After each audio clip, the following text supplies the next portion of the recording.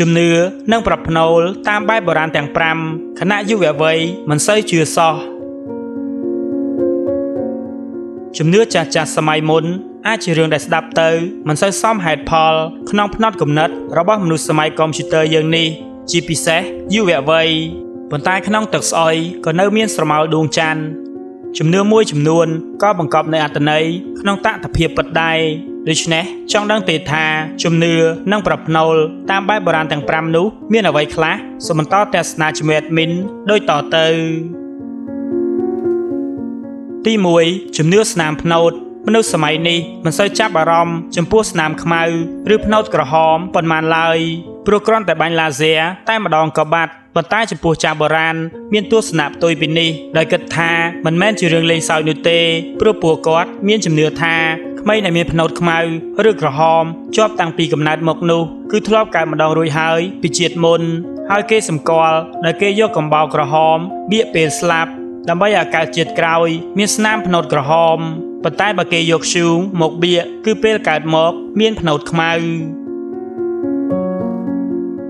ទី2ជំនឿទឹកអប់ បើនិយាយពីជំនឿហាមយកទឹកអប់មិត្តភ័ក្តិមកបាញ់ព្រោះនឹងបណ្ដាលឲ្យមានរឿងឆ្លោះគ្នា ពីព្រោះតែពាក្យទំនៀមបុរាណបានពោលថាភ្នំមួយមិនអាចមានខ្លាពីរដូច្នេះក្លិនទឹកអប់ដែលយើងប្រើក៏ដូចក្លិនសាខ្លាយ៉ាងដូចនេះកាលណាខ្លាពីរក្បាលមកជួបគ្នា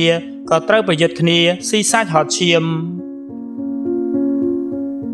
ទី3ក្រាស់សិតសក់ចំពោះជំនឿពីក្រាស់សិតសក់បាក់មនុស្សសម័យមុនពួកគាត់មានជំនឿថា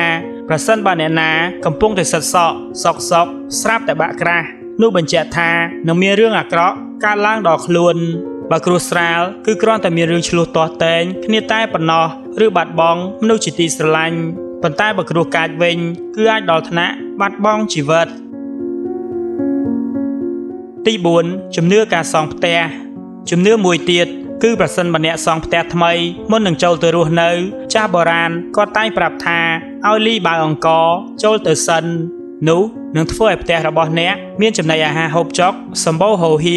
ហើយបដាក់ខ្សែកចិញ្ចៀនមាសចិញ្ចៀនប្រាក់ចូលទៅក្នុងបាវអង្គផងនោះមាសប្រាក់នឹងហូរចូលមកច្រើនចាប់មុខរបរអ្វីក៏ចេះតែត្រូវចេះតែកាក់កបពេលចូលទៅរស់នៅក្នុងផ្ទះនឹងជួបតែសំណាងល្អសុភមង្គល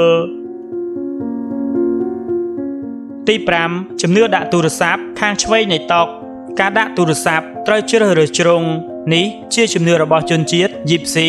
មានជំនឿថាបើដាក់ទូរស័ព្ទនៅជ្រុងខាងឆ្វេងនៃតុធ្វើការនោះអ្នកដែលទូរស័ព្ទចូលមកប្រាប់តែពីដំណឹងអាក្រក់ដំណឹងមិនសប្បាយចិត្តប៉ុន្តែបើដាក់ទូរស័ព្ទនៅជ្រុងខាងស្ដាំនៃតុធ្វើការនោះអ្នកដែលទូរស័ព្ទចូលមកនឹងប្រាប់តែព័ត៌មានល្អៗដែលធ្វើឲ្យយើងសប្បាយចិត្ត បើលោកអ្នកនាងប្រិយមិត្តអ្នកស្ដាប់ជាទីមេត្រីនេះគឺជាជំនឿនិងប្រផ្នូលតាមបែបបុរាណទាំង5ដែលចាស់បុរាណនៅតែមានជំនឿ